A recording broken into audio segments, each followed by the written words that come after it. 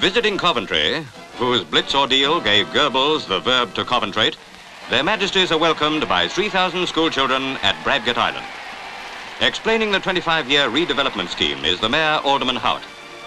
Here, where Coventry's most famous lady, Godiva, presides, a vast modern centre will replace the heart of the city wiped out in one night.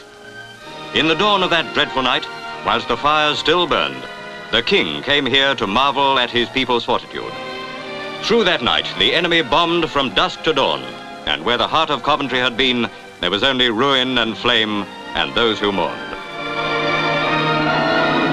In the cathedral, the Bishop of Coventry describes plans for the future. Only the walls and the 300-foot steeple remained after the Great Raid. Coventry was sorely stricken, but her people put their sorrow behind them and by their labors struck back a mighty blow. Five miles away at Ryton-on-Dunsmore, 1,600 officers from England, Wales and the colonies parade for royal inspection as the King makes his first visit to the police college.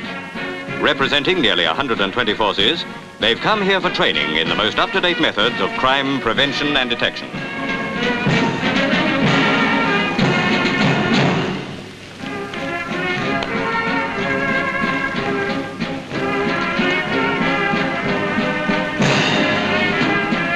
These police officers come from Malaya.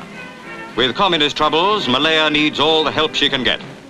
Next, police dogs and their trainers give their majesties a thrilling interlude.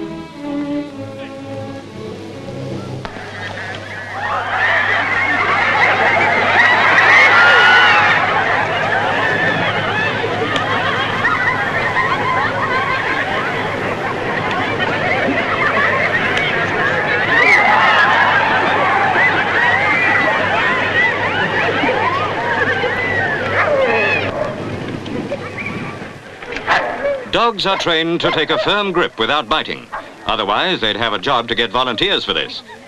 Dogs have won an important place in police work for their intelligence and courage.